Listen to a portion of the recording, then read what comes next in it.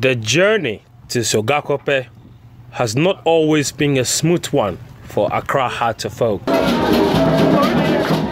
In their last five visits here, the Phobians have lost each time, including an infamous 5-0 thrashing in 2017.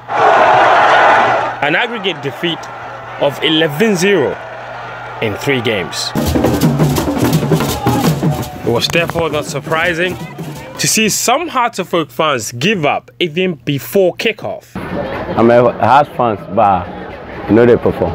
For some though, in typical representation of the club's never say die mantra, were quietly optimistic.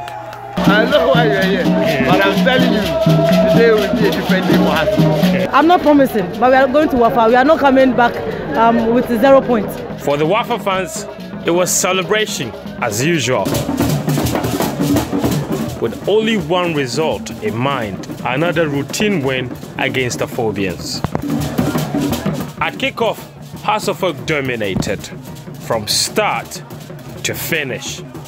It's a game the Phobians should have won, but put the result in context, and a draw here is worth more than three points for every member of the Oak Tree. The celebrations post game were evidence of that.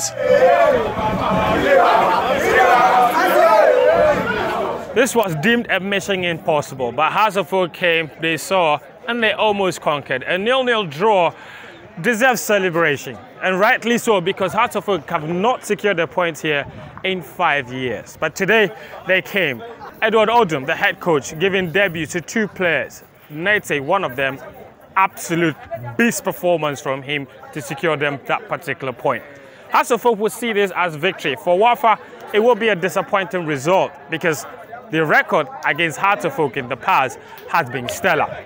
Next up for the Phobians is a trip to the Liberty Park in Dansoman, where they'll be hoping the confidence achieved from this game will push them further forward in the table.